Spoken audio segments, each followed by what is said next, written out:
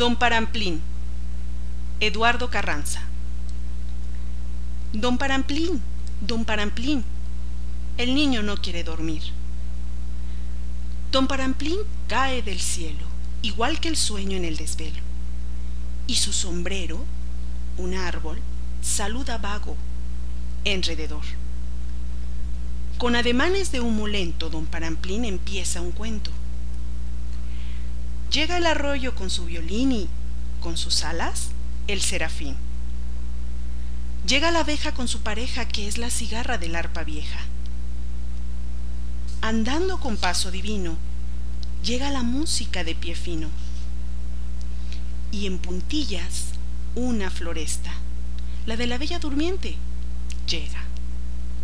Por sobre el musgo rueda que rueda, pasa y se queda un tren de seda las flores dejan silla de aroma y, enlazadas, bailan en ronda. Y por el claro talle cogidas, bailan también estrellas niñas.